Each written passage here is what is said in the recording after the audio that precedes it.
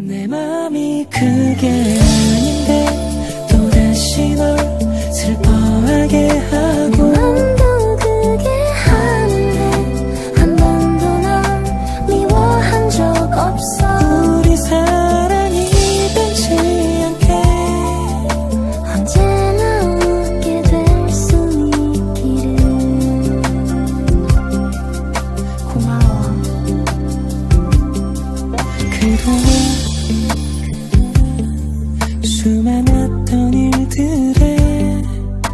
힘들고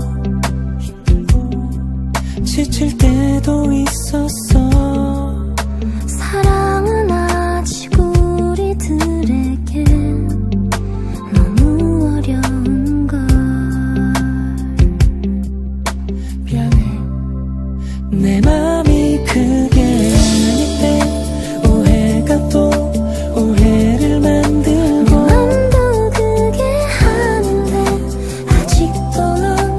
家